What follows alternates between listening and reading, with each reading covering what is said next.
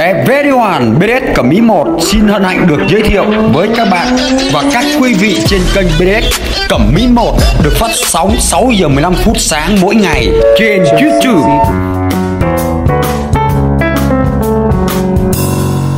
Xin chào các quý vị các anh chị, chúc cho các quý vị anh chị một ngày mới mạnh khỏe và nhiều năng lượng, nhiều niềm vui trong cuộc sống. Đồng Nai tăng tốc hoàn thành hệ thống hạ tầng khu tái định cư Lộc An và Bình Sơn. Theo cập nhật thông tin ngày 19 tháng 7 2021, hiện nay rất nhiều hộ dân thuộc vùng dự án cảng hàng không quốc tế Long Thành đã bắt đầu thực hiện xây dựng nhà cửa tại khu tái định cư Lộc An và Bình Sơn để ổn định cuộc sống. Do đó, tiến độ xây dựng các công trình hạ tầng kỹ thuật và các dịch vụ thiết yếu phục vụ đời sống người dân cũng được tăng tốc hoàn thành. Đến cái phần này rất là quan trọng nha các quý vị. Đây, các anh em xây dựng nhà thầu bán vật liệu xây dựng là bây giờ là về đây là rất là ok này. Mình xin thông báo cho các quý vị nhà thầu nha.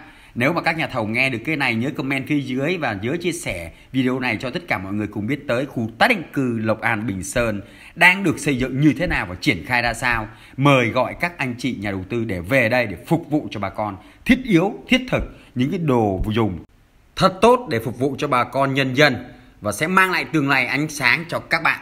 Mình nói có đúng thì cho một like nha các bạn nhá. Rồi, mời các bạn nghe tiếp. Tháng 4 2020, năm gói thầu hạ tầng kỹ thuật ưu tiên gồm 4 tuyến đường giao thông chính và hệ thống thoát nước của khu tái định cư Lộc An, Bình Sơn chính thức được khởi công xây dựng. Sau hơn một năm thi công, những gói thầu ưu tiên này hiện đang trong giai đoạn nước rút hoàn thành thi công xây dựng, nỗ lực về đích. Theo Ban Quản lý Dự án Đầu tư xây dựng tỉnh, hiện nay đối với hai tuyến giao thông chính gồm là tuyến N23 và N39, các nhà thầu đã hoàn thành khối lượng thi công theo hợp đồng. Hiện các nhà thầu đã bắt đầu triển khai công tác sơn đường, hoàn tất công việc của gói thầu để chuẩn bị nhiệm thu hoàn thành về kỹ thuật. Chúng ta hãy à, cho chàng pháo tay đi ạ.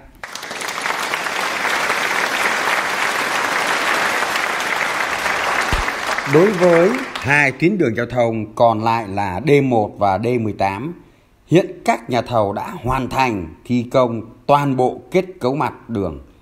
Hệ thống thoát nước gồm nước mưa và nước thải, hệ thống ống luồn cáp điện, viễn thông và chiếu sáng. Các nhà thầu đang chuẩn bị công tác sơn đường hoàn thiện thi công để nghiệm thu. Về kỹ thuật, riêng tuyến đường D18, nhà thầu tiếp tục khắc phục 630 m2 vỉa hè bị sụt lún do ảnh hưởng của trận mưa lớn cuối tháng 5 vừa qua. Ông Nguyễn Anh Tuấn, Phó Giám đốc Ban Quản lý Dự án Đầu tư xây dựng tỉnh đã cho biết.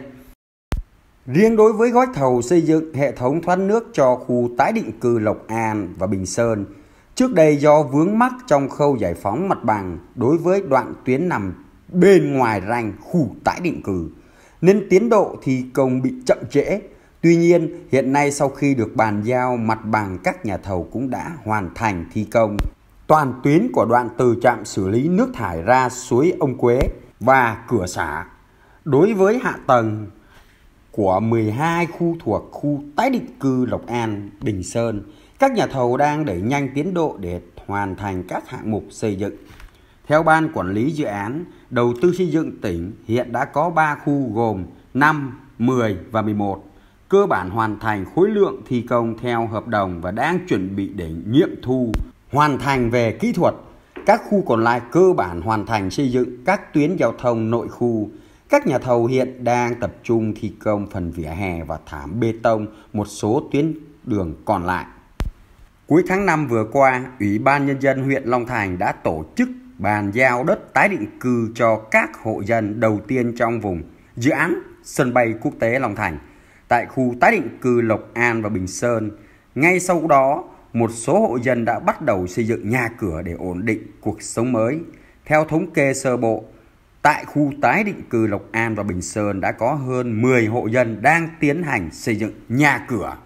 Để đảm bảo các điều kiện cho người dân thực hiện xây dựng nhà cũng như ổn định cuộc sống, bên cạnh đẩy nhanh tiến độ xây dựng các công trình hạ tầng kỹ thuật, hạ tầng xã hội, việc hoàn thiện đầu tư các dịch vụ thiết yếu như hệ thống cung cấp nước sạch, hệ thống điện cũng đang được tăng tốc thực hiện.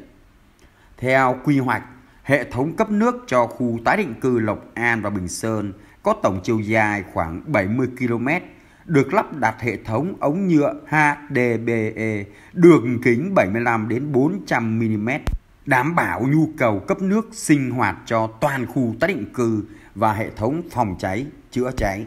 Các ống cấp nước được đưa đến trước vỉa hè của các hộ dân.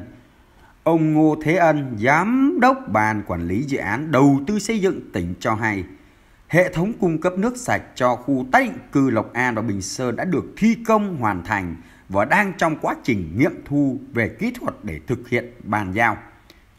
Đối với hệ thống cung cấp điện, theo quy hoạch của khu tái định cư Lộc An và Bình Sơn sẽ có 52 trạm biến áp hợp bộ dung lượng từ 250 đến 400 kVA và 12 tủ RMU đóng cắt trung thế gần 13,4 km, cáp trung thế ngầm gần 60 km, cáp hạ thế ngầm hiện đang tổ chức thi công kéo cáp để ưu tiên cấp điện cho các khu, trong đó ưu tiên cấp điện trước cho các khu 5, 7, 9, 10 và 11 thuộc khu tái định cư Lộc An và Bình Sơn.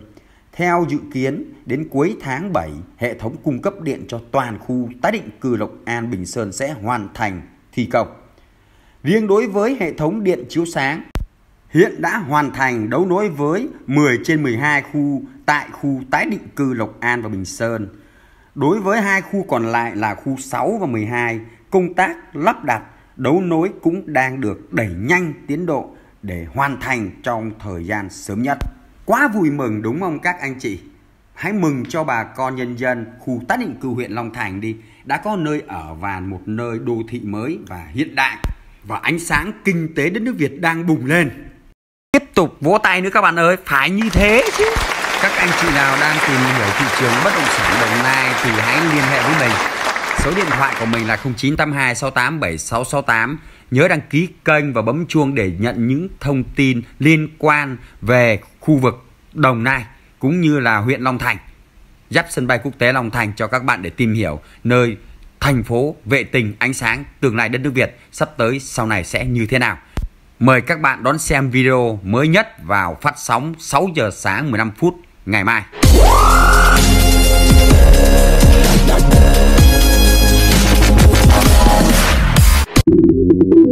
Everyone, BDS Cẩm mỹ 1 xin hân hạnh được giới thiệu với các bạn và các quý vị trên kênh BDS Cẩm Mỹ 1 được phát sóng 6 giờ 15 phút sáng mỗi ngày trên YouTube.